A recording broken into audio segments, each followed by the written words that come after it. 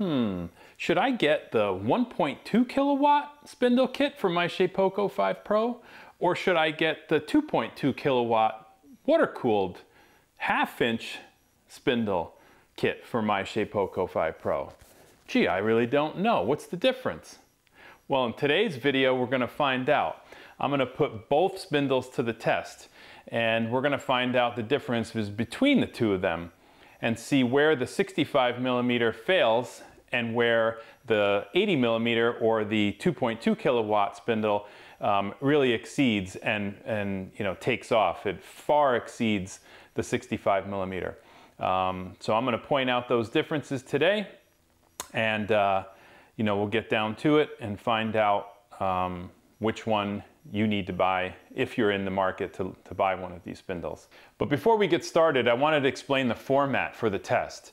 The test will consist of a series of straight line cuts that will vary in depth from an eighth of an inch all the way on up to a half inch deep. Um, and basically two speeds. I'm going to be running about uh, 100 to 150 inches per minute all the way up to 200 inches per minute. And the reason I didn't go above 200 inches per minute is because I believe the Shapeoko is preset that it doesn't go above 200 inches per minute from the factory. Um, and that's fine. Um, so just to, to make up for it and to try to get one of these machines to go to failure, I'm going to gradually increase the depth um, to see if, it, if one of them fails and find out which one uh, exceeds. So for each test, I'll put the details up on the screen and I will first start each test with the 1.2 kilowatt spindle followed by the 2.2 kilowatt spindle. So they'll go back to back for the same cut so that you can see how each one, how each one fares in that cut. So with that, let's get to it.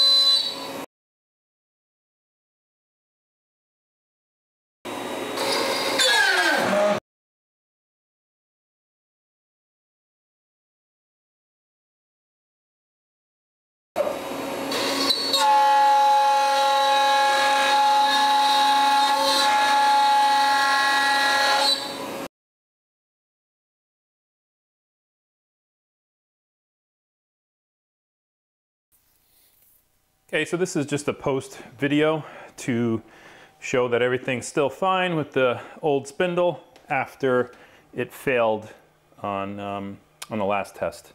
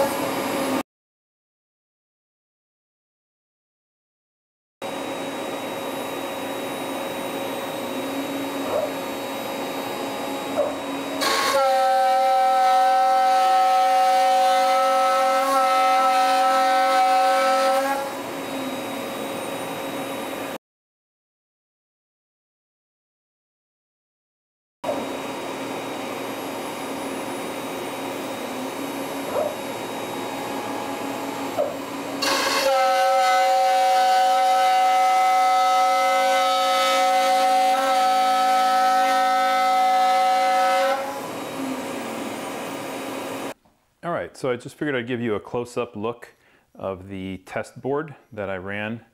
Uh, this one is for the 65 millimeter 1.2 kilowatt spindle. And, uh, you know, I started out, here is the, uh, the eighth inch pass um, and uh, at 200 inches per minute. Then I went to quarter inch deep on the second one at 200 inches per minute. Uh, 3 eighths inch deep on the third one at 200 inches per minute and then I went to half inch, uh, half inch deep, 150 inches per minute, and it was able to, you know, get through that one. But then when I uh, tried to step it up to 200 inches per minute at a half inch deep, uh, that's where the, the 65 millimeter spindle failed. And, um, you know, I stopped the machine before because it, it, um, it completely stalled. So I just wanted to, to let you guys see that close up, um, you know, what the, uh, what the cut looked like and, and, uh, and how it went. So now um, this board is the 80 millimeter spindle or the 2.2 kilowatt. And I did the same test uh, initially where, you know, I ran um, the same quarter inch bit uh, eighth inch deep, same settings, 200 inches per minute, uh, quarter inch deep, 200 inches, 3 eighths inch deep at 200, half inch at 150, and then half inch deep at 200. And the machine had no problem going through it. There was um, a noticeable chatter from the bit um, that I can uh, point out. You can see it uh, at the 200 inch per minute. It, uh, it also had the same chatter um, where I went three, uh, 3 eighths inch deep at 200. It's, it's not as bad, but it had a little bit, but it got really noticeable uh, at the half inch deep mark at uh, 200 inches per minute. So then I decided to take it a notch further and go with uh, a half inch uh, upcut end mill. And, uh, and I went, um, you know, I started out at a quarter inch deep at 150 inches per minute and plowed through it like butter. I mean, it had absolutely no problem. Um, I did the same thing, uh, quarter inch deep, half inch, uh, you know, end mill at 200 inches per minute. And again, absolutely no problem, went right through it. And then went to 3 eighths inch deep at uh, 200 inches per minute. I jumped right away because I, I, thought, you know, it had no problem with the prior uh, settings. So uh, I didn't think it would have an issue with 3 8 inch deep. And sure enough, it went right through it. Um, and then I went even further and went a half inch deep at 150 inches per minute. And again, it, it went through it with no problem. I'm sure it could go even more. I just, it's a brand new spindle and I don't want to, you know, really find out its limit. Uh, I didn't want to push it to failure. Uh, you know, so uh, as far as I'm concerned, you know, there's a little bit of chatter on, um, on this last cut at half inch. It's just starting to show. And, you know, I would imagine it could easily handle 200 inches per minute. You'd probably get a lot of chatter from it. Uh, but, uh, you know, that's uh, how much power, you know, torque you're getting from the 2.2 uh, kilowatt spindle. It's extremely powerful. So um, I just thought that, you know, it'd be worthwhile to show that and, you know, see how it actually cut in the material. Again, this is not about cut quality. Uh, this is just to show the power difference between the two machines. Come on now, you didn't really think I was gonna stop right there. The fun was just getting started. So now, what I plan on doing, we're gonna go a little further, um, is I'm gonna take this 3 8 inch two flute upcut end mill. And, uh, and we're gonna push it a little further. We're gonna see what this bad boy can do. Um, did somebody out there mention uh, full depth of cut in three quarter inch plywood? Hmm, yeah, let's see what happens.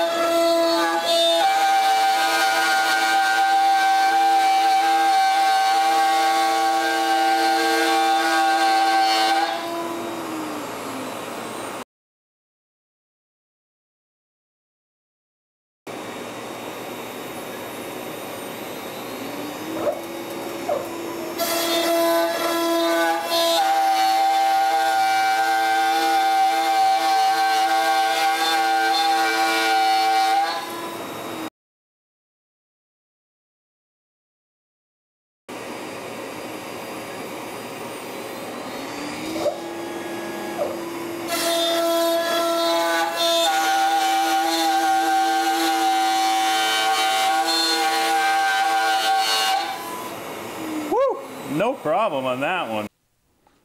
All right, so here we have the board uh, right off the machine after we did after I did the cuts. And um, just to make sure you guys know, that's a full pass through. I'm, I'm, not, uh, not teasing you guys there or anything. That's the real deal right there.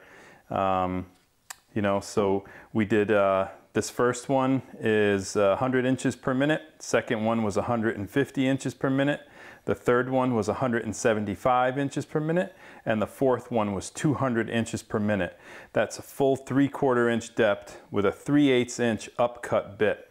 Spinning at 22,000 RPM. Um, and man, that spindle is a beast. I don't know how else to put it. I mean, it had no problem. I think can go. I think I can. You can still go more. I, I, you know, that's it for the machine. The machine doesn't go faster than 200. So, uh, you know, uh, that spindle can certainly take it. Um, I am really, really impressed. And you know, uh, the cut quality isn't great. You know, this is an upcut bit, so it, I, unfortunately, it was all that I had. Um, I don't have a compression bit. Um, and I didn't want to use a downcut bit on a full depth of pass. They're pretty hard on the spindle, you know, because they don't evacuate the chips. They evacuate downward, so it makes it a little harder. Um, but, uh, you know, but again, uh, just you know, getting a little little look there. The, the cut's not that bad at all. Uh, believe it or not, I, I, I, see more chatter on the, the 100 inches per minute than I do on, um, on the last one at 200. So uh, really interesting, you know. It, uh, it's pretty cool. And on this one, I, I used a ramp in. You know, since it's such a deep cut, I, uh, I ramped in on it just to uh, make it easier. I didn't do it on the other ones. And I didn't think it was such a big deal. They were pretty shallow cuts. Um, and also, just in case you guys are wondering, on this test, I did all of these uh, conventional cut. And on the last test, I did them on the climb cut. So um, yeah, just another little tidbit there about it. All right. Okay, I hope that was good enough for you. Come on, I'm really, I'm not gonna push a brand new spindle to failing point. You know, that's that's not gonna happen. Um, but I clearly think you can see from uh, from this demonstration the power that this uh, this spindle has in it. Um, and yeah, maybe somebody out there might say, well, hey, you know, you could have sped up the 1.2 kilowatt a little more. You know, I was only turning 18,000 RPM. I don't know, maybe I could have gone to 22,000 and pushed it a little more, but I really don't think it would have done that much better. Um, and if anything, hey, you know, we leave a little something on the table there for uh, a future video or something like that, uh, you know, uh, where we can explore a little further. But, uh, but I think you can clearly see the difference between these two spindles. All right, so now uh, let's talk about the results. Okay, so after all the testing's been done, um, you know, what's the takeaway from this, uh, from this video and the testing? Well, if you're in the market for, you know, a spindle for your Shapeoko 5 Pro and you're not sure which one to get, uh, you know, you're deciding between the 65 millimeter or the 80 millimeter, um, aside from the obvious power difference between the two, because that's clearly the, um, the most notable factor between the two, is that. Um, I, I, would say um, the, the pros for the, um, the 65 millimeter spindle, 1.2 kilowatt, is that if you only do really fine, detailed work, that um, you know you're using slow speeds uh, and uh, very tight step over, you know, because you want a really fine finish on the surface. Um, and you're only using eighth inch or quarter inch bits, that's really all you ever get up to. Be, again, because of the work that you're doing, then you know the 65 millimeter uh, spindle is going to be just fine for you. Um, it, it, it took a lot, you know, to get that machine to fail uh, to, you know, in my opinion, uh, you know, and, and so it, it's a great kit. It's just, um, you know, you're limited to using quarter inch bits and, you know, certain speeds uh, that uh, the machine uh, is, is, set to. And, uh, you know, I believe in, in, in don't quote me on this, but I believe the Shapeoko will only cut right now it's been set to 200 inches per minute. Um, I believe that's how they want it to for, for safety reasons. So all of my tests were no higher than 200 inches per minute because the machine won't cut that fast. I've tried it. I set it to 400, 500 inches per minute. And no matter what, on my readout on carbide motion, the velocity on the chart, it never went above 197, 198. Um, however, when the machine is moving, like you know, if you're doing a rapid motion to move it to a different spot, um, you know, during uh, setup and stuff like that, yeah, I've gotten it as high as 266. I think it peaked once at 270, something like that. But in actual machining, the machine never went above 197, 198, something like that. Um, and again, for purposes of you know working with wood, um, anything above that, the cut quality is really going to start to go down. Uh, other than, you know, when I was cutting with the half inch bit on the, uh, the 80 millimeter 2.2 kilowatt spindle, that one, and it was a fresher bit, you know, because I didn't put it through the stresses of all the other cuts, but it, it cut pretty clean. Um, but again, the faster you go, you start to sacrifice cut quality. And in wood, that you know will become a factor. So uh, now moving on to the benefits of getting the 80 millimeter spindle, which is water cooled, and uh, obviously it's a lot more power. Um, so you're going to be able to do things a lot faster if um, you know let's say you know cut quality isn't of the utmost importance you just want to you know cut something quicker that one will clearly be able to do it because you can either increase your depth of cut and and you know rather than making 12 passes on a part you know to get through it you could easily do it in six maybe even less than that. So you know you go from i don't know a project that could take 30 minutes to cut it now you can cut it down to you know 15 minutes or even less again depending on how uh, how hard you push that machine which it certainly will be able to take it and handle it. Um, so that's one thing is is is a time saving. The other thing is that you have the addition now with the ER20 collet and going up to a half inch bits you have a whole new range of bits that are going to be available to you and you can do a lot more with that um, you know versus just being limited to the the quarter inch bits. So uh, so that's a big plus. Um, I, I, know myself that uh, you know when when you're uh, dishing out a bowl or a tray or something like that you can certainly uh, get it done a lot quicker than than you would with with just a quarter inch bit. Now that's to say, you know, if the same thing apply with with this um, uh, 2.2 kilowatt as the 1.2 kilowatt is that if utmost cut quality is what you're concerned about, you know, and you want a surface finish that's, you know, like glass that you barely have to do any sanding to, well then, you know, the, the, the same rules are going to apply. You're going to have to slow down your feed rate and your step over is going to have to be, you know, very fine. So it, it's going to be the same way. Uh, as the 65 millimeter. But again, you're going to be um, absolutely impressed with the power, the speed at which you can cut things, you know, and, you, and your projects will be cut in, in half. And then on top of all that, you, you have the benefit of a water-cooled uh, spindle. So you don't have to worry about, you know, it overheating, uh, you know, anything like that. And um, it, it's also extremely quiet. Uh, as compared to even the 65 millimeter, I found that it was, to me, just the spindle alone was much quieter. So that, that alone will, will help you out. So the only drawbacks to using um, or, or getting the 2.2 kilowatt spindle kit is that um, power requirements. So it runs on 220 volt and you know if you don't have a 220 volt outlet for the machine, you know you're, you're gonna either have to have an electrician install it or you know it can be a little more cumbersome than just the um, you know easy plug-in of the 65 millimeter kit where um, you know it just runs on 110 volt and you know it's pretty simple. So this has a little extra uh, you know of a, of a power uh, consumption there.